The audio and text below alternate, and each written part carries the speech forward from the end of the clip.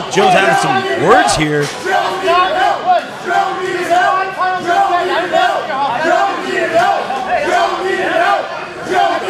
I think Bellini trying to explain, hey man, I helped you out here.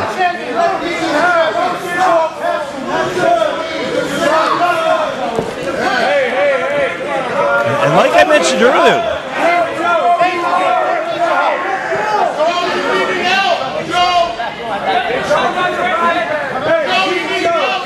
two having words here, and as I mentioned earlier, trying to make out what these two are trying to say to each other. But Ocasio, very confident right now, and um, I take it he feels he doesn't need the help of the boss man Bellini here.